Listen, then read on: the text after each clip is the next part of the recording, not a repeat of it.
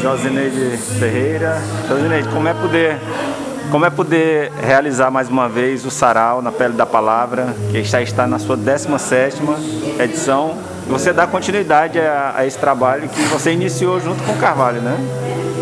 É um momento muito importante, assim, principalmente pela questão da data mesmo. Então, assim, é, hoje estarmos seria a data do aniversário do, do Carvalho Júnior, desse poeta, é, com poesia e muita música e muito afeto. É algo assim prazeroso. É, temos assim, várias pessoas de fora, vários é, poetas que vieram para prestigiar e também temos um outro momento muito importante que é a questão da premiação do nosso concurso de poesia, que hoje também vamos ter novidade para o próximo concurso.